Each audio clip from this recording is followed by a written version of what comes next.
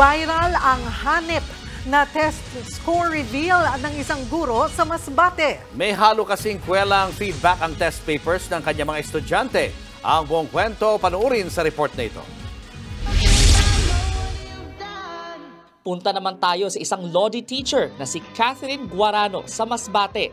Si Teacher Cathy kung mag-feedback sa mga score ng kanyang estudyante, abay, the memes. Tulad ng isang ito, umiiyak na Kardashian ang sticker sa score na 6 over 45. Heto exempted kaya ang say ni teacher, wow, sana all. Itong naka 43 over 45, like a boss naman daw. Sabi ni Teacher Cathy, noong nakaraang taon niya lang sinimulan ang paandar na ito. Pampaaliw na lang din sa kanyang mga estudyante anuman ang nakuha nila sa kanilang exams. Nagbabalita mula sa Frontline, Brian Basa, News 5. Mga kapatid, Cheryl Cosing po, huwag maging huli at maging una sa lahat para sa tuloy-tuloy na balitaan at karagdagang impormasyon sa mga napapanahong issue ng lipunan. Tumutok lamang at mag-subscribe sa social media pages ng News 5.